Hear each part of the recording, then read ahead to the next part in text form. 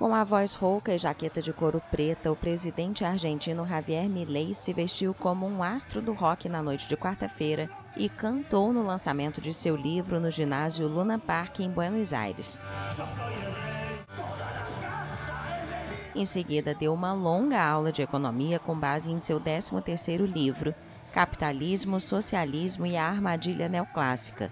Em seu discurso, criticou o socialismo, defendeu os monopólios, negou a existência de falhas de mercado e disse que o aborto corresponde a um mecanismo para massacrar as populações.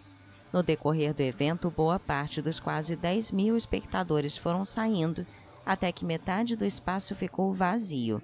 O evento teve uma identidade semelhante aos que Milley realiza desde seu início na política em 2021.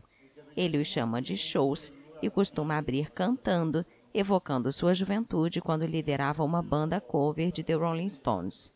No dia do lançamento do livro, o dólar paralelo atingiu um novo recorde nominal de 1.280 pesos em uma economia colapsada, com metade da população na pobreza e preços 290% mais altos do que no ano passado.